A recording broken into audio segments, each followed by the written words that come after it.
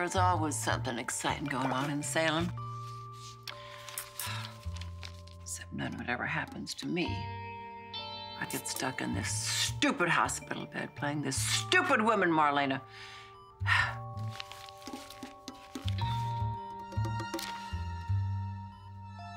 You gotta be kidding me. this is just what I need to spice up my day.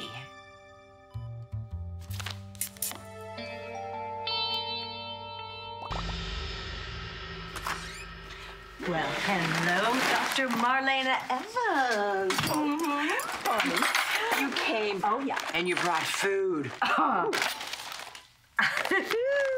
Absolutely. Real food. Uh huh. You know it. Nothing but the best for my former partner in crime. Girl, I came as soon as you sent me that email. Oh my God, I could not pass up the chance to partay with the Hattie Adams. Oh, oh, oh. Ixnay on the Addie Hay. You just never know who's listening. Right, gotcha. Mum's a word. So tell me, girl, why you pretended to be Marlena again, hmm? It's a very long story.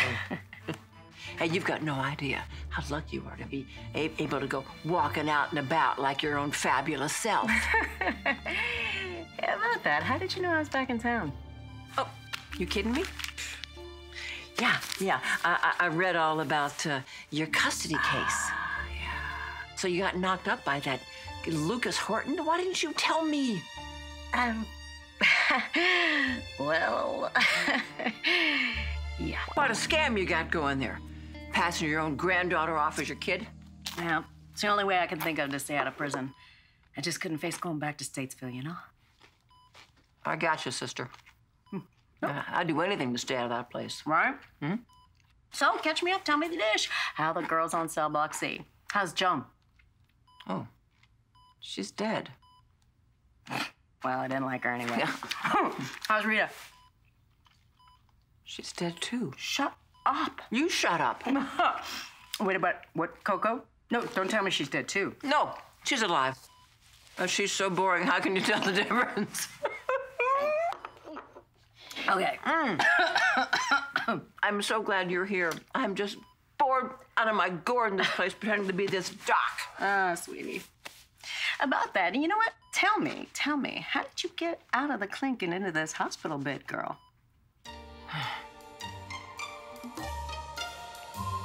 Ooh, doggy, I am impressed. You are pulling some power moves, especially snagging that silver fox of a hubby. Mm-mm. Oh. Well, he's good looking, I guess, in a funny kind of way. Just not my type. So, our, our marriage is strictly phonetic. Mm, platonic. And he's he's already upset with me for this stunt, you know? Uh, Well, seriously, what did he expect?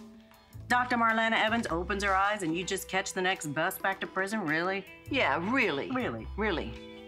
I mean, I, I, I'm just trying to do what Oprah says, you know? I'm, I'm trying to live my best life. That does not include communal showers and bed bugs.